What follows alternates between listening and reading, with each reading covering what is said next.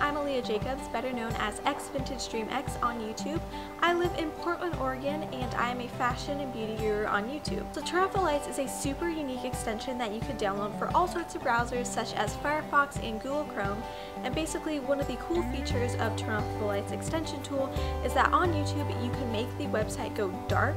So in this nighttime mode, you don't have to look at any video ads or video suggestions or anything like that, and you can just focus on the video, and I think it is super cool. I've used it before, and I definitely recommend it, so you guys should definitely go check out and download Turn Off the Lights. Thank you guys so much for watching. If you're interested in learning more about my videos, feel free to click on the left side of the screen where I have my channel icon, and it'll take you to my channel. And I hope you have a great day. Bye!